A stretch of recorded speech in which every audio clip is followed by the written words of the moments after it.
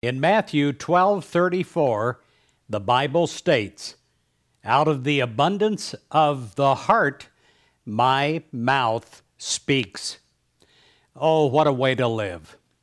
When you live from your heart, you literally make a heart connection with everyone that you meet. I had a friend recently that we went out to breakfast at a local restaurant. it was just Waffle House. But before we went in, I prayed that we could make a heart connection, that we could, we could talk to the people in a higher way than just placing our order.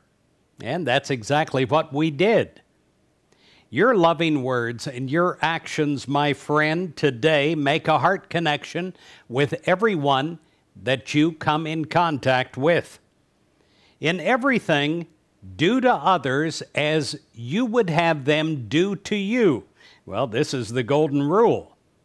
And when you use that as a standard for your life, well, you can't help but make a heart connection with all those that you come in contact with, with your coworkers at work, with the people that you live with on a daily basis, or even that you interact with just socially from a distance.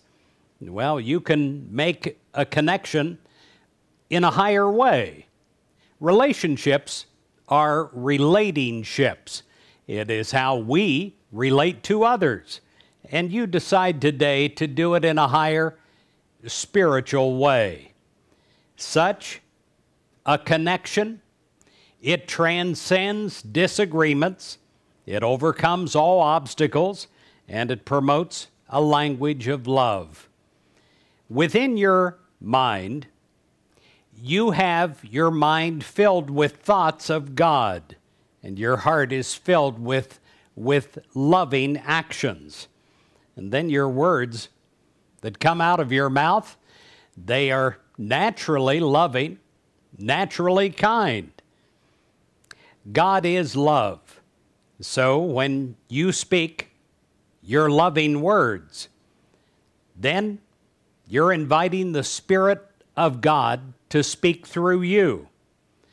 When you follow the Golden Rule, you're following in the footsteps of the Master Teacher, and you're speaking the language of the heart, a language of love. What a way to spend a day! What a way to spend a life!